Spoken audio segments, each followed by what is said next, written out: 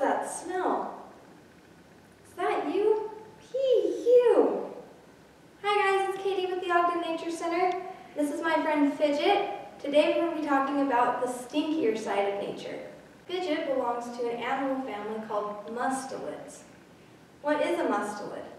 So mustelids are categorized by having long bodies, short little legs, and really sharp teeth because they're meat eaters. What do we call meat eaters?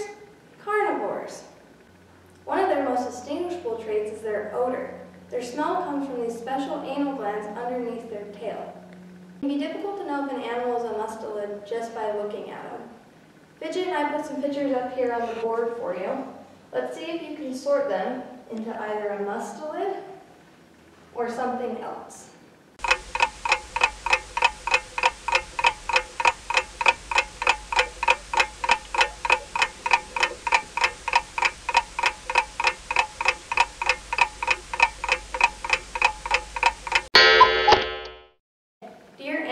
Look like mine?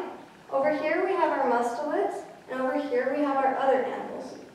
It's okay if yours, if you didn't get yours perfectly right. Scientists are still in disagreement about how to sort these animals correctly. Over here we put porcupines and beavers, they belong to the rodent family.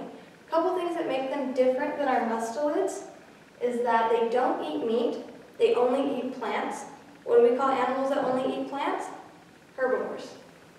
They do have special glands underneath their tail, but they use them differently than the mustelids do. They take the chemical that's in those glands, they mix it with their urine, and then they use that to mark their territory. What's this creature doing over here? He's really stinky.